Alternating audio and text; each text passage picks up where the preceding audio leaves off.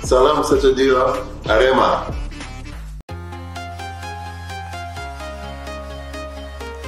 Assalamualaikum warahmatullahi wabarakatuh. Salam olahraga. Kembali lagi bersama channel kami yang tentunya masih setia menyajikan informasi-informasi menarik seputar dunia sepak bola tanah air Arema FC sudah mendapat sanksi lagi dari Komite Disiplin, Komdis, PSSI di saat kompetisi Liga 1 2023 hingga 2024 baru bergulir. Berdasarkan hasil sidang Komdis PSSI pada Selasa, 11 Juli 2023, Arema FC menjadi salah satu tim yang diputuskan mendapat sanksi, berupa sanksi denda.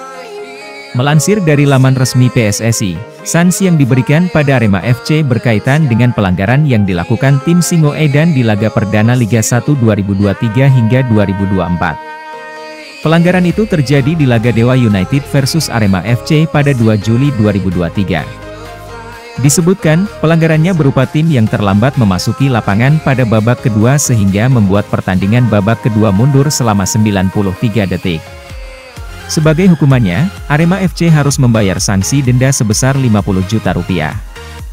Arema FC bukanlah satu-satunya tim yang mendapat hukuman atau sanksi dari Komdis PSSI di awal kompetisi ini. Hasil sidang Komite Disiplin PSSI, 11 Juli 2023 juga memutuskan pemberian sanksi bagi lima tim lain yakni PSS Sleman, Dewa United, PSM Makassar dan bagi pemain Rans Nusantara FC, Erwin Ramdhani. Baik demikianlah beberapa rangkaian informasi sepak bola kali ini. Jangan lupa klik tombol subscribe. Nantikan dan terus tonton informasi menarik lainnya seputar sepak bola dari channel kami.